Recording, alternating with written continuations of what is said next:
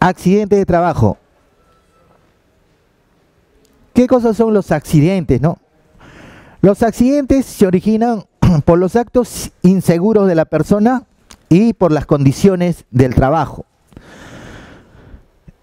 Los actos inseguros son de la persona de repente que no tiene mucha, mucha, mucho conocimiento, mucha capacitación, mucho entrenamiento, no es hábil y a veces se arriesga, ¿no?